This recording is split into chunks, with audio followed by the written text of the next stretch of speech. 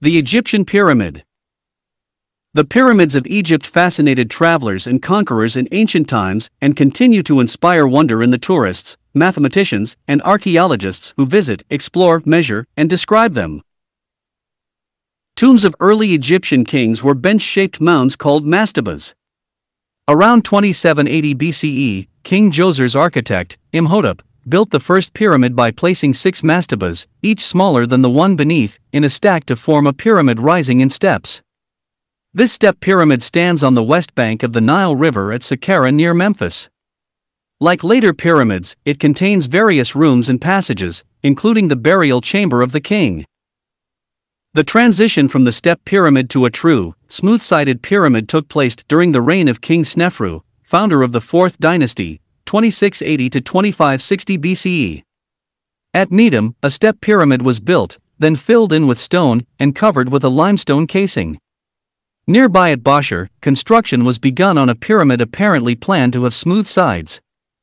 About halfway up, however, the angle of incline decreases from over 51 degrees to about 43 degrees, and the sides rise less steeply, causing it to be known as the bent pyramid.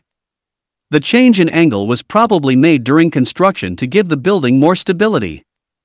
Another great pyramid was built at Dahshur with its sides rising at an angle of somewhat over 43 degrees, resulting in a true, but squat-looking pyramid.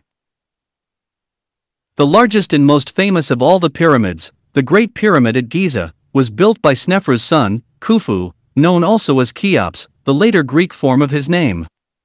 The pyramid's base covered over 13 acres, and its sides rose at an angle of 51 degrees 52 minutes, and were over 755 feet long. It originally stood over 481 feet high, today it is 450 feet high.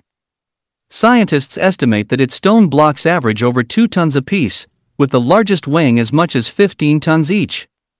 Two other major pyramids were built at Giza for Khufu's son, King Khafre, Chephren, and a successor of Khafre, Menkaure, Mycerinus. Also located at Giza is the famous Sphinx, a massive statue of a lion with a human head, carved during the time of Khafre. Pyramids did not stand alone, but were part of a group of buildings which included temples, chapels, other tombs, and massive walls. Remnants of funerary boats have also been excavated, the best preserved is at Giza. On the walls of 5th and 6th dynasty pyramids are inscriptions known as the pyramid texts, an important source of information about Egyptian religion. The scarcity of ancient records, however, makes it difficult to be sure of the uses of all the buildings in the pyramid complex or the exact burial procedures. It is thought that the king's body was brought by boat up the Nile to the pyramid site and probably mummified in the Valley Temple before being placed in the pyramid for burial. There has been speculation about pyramid construction. Egyptians had copper tools such as chisels, drills, and saws that may have been used to cut the relatively soft stone. The hard granite, used for burial chamber walls, and some of the exterior casing, would have posed a more difficult problem. Workmen may have used an abrasive powder, such as sand, with the drills and saws. Knowledge of astronomy was necessary to orient the pyramids to the cardinal points, and water filled trenches probably were used to level the perimeter.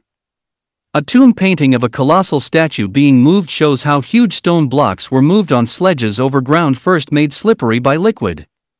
The blocks were then brought up ramps to their positions in the pyramid. Finally, the outer layer of casing stones was finished from the top down and the ramps dismantled as the work was completed.